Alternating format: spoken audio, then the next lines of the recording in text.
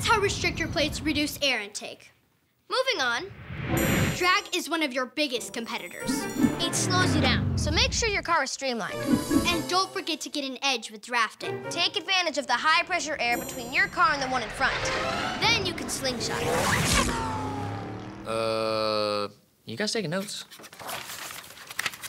At the track, in the classroom, and online. Visit accelerationnation.com or download the Acceleration Nation app today.